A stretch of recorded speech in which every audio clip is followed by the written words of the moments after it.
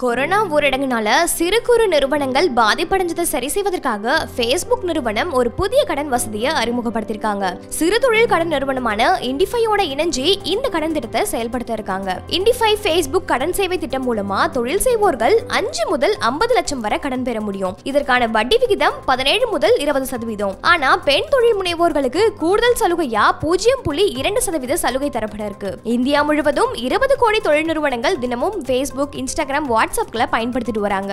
இந்த கடனை பெறுவதற்கு தொழில் நிறுவனங்கள் ஃபேஸ்புக்ல முதல்ல தங்களோட விளம்பரங்களை செஞ்சிருக்க வேண்டும். அந்த குறிப்பிட்ட நிறுவனம் ஃபேஸ்புக் யூசரா ஆறு மாசத்துக்கு மேல இருந்திருக்கணும். மாநகரம் நகரங்கள்ல இருநூறுக்கும் மேற்பட்ட இடங்கள்ல பதிவு செய்யப்பட்டுள்ள தொழில் நிறுவனங்களுக்கு இந்த கடன் உதவி கண்டிப்பா கிடைக்கும். இந்த திட்டம் முதன் முதலா இந்தியாவில தான் ஃபேஸ்புக் நிறுவனம் தொடங்கி இருக்காங்க இது குறித்து ஃபேஸ்புக் நிறுவனத்தின் இந்திய அதிகாரி அஜித் மோகன் தெரிவிக்கையில இந்த திட்டத்தின் மூலமா யார் வேணாலும் கடன் பெறலானோ தொழில் பாதிப்படைஞ்சவங்களுக்காக உதவவே இந்த முயற்சியை செய்வதாகவும் சொத்துக்கள் இல்லாதவர்களும் இதுக்கு விண்ணப்பிக்கலாம்னு தெரிவிச்சிருக்காரு.